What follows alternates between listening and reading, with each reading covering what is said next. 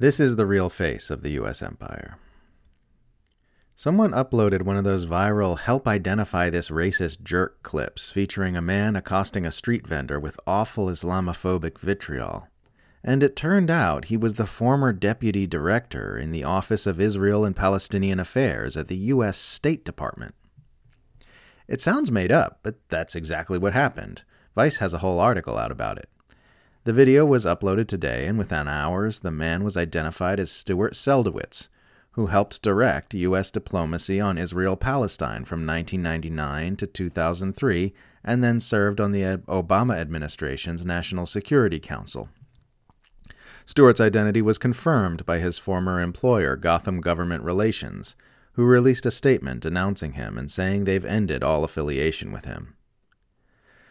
Seldowitz is seen hounding the New York City vendors in multiple different videos, wearing multiple different outfits, showing a sustained campaign of harassment and abuse.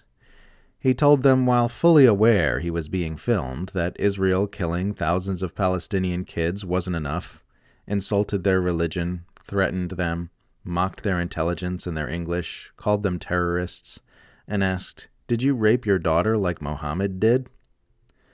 From the videos, he appears to be harassing them for no reason other than because they are Muslims selling halal food. That such a horrible person could climb his way to the highest echelons of the world's most powerful government, working on Palestinian affairs no less, illustrates an important point about the U.S. empire and what it is.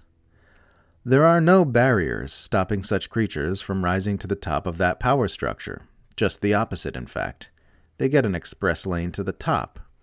That's why bloodthirsty swamp monsters like John Bolton, Lindsey Graham, Victoria Nuland, and Elliott Abrams find themselves so intimately involved with U.S. policymaking.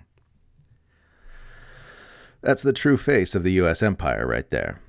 That's the empire at its most honest.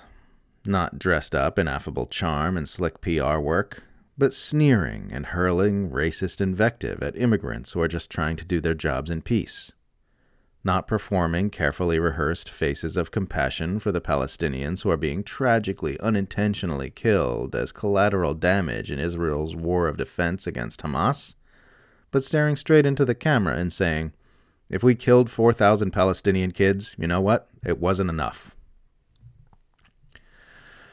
Too many people look at Israel as something separate from the U.S. empire, seeing it as a small nation run by a historically mistreated ethnic group that everyone singles out and picks on unfairly.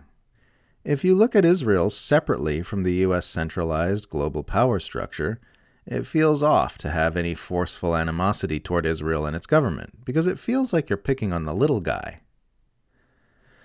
It's only when you see clearly that Israel is just an arm of the same empire that's been murdering people by the millions around the world with nonstop invasions, bombing campaigns, proxy conflicts, starvation sanctions, and CIA coups that you begin to understand that yes, Israel really is exactly as evil as it appears to be, and its behavior in Gaza is exactly what it looks like.